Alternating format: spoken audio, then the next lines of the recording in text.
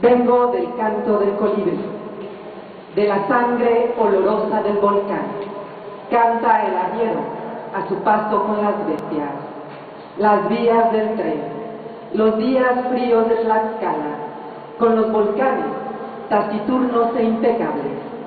Soy un camino de Oyamene, una gota de tiempo, un grito perdido en el maguey, un aliento de yegua en nostalgia de la lluvia, de las flores, la estación y las lágrimas del sauce.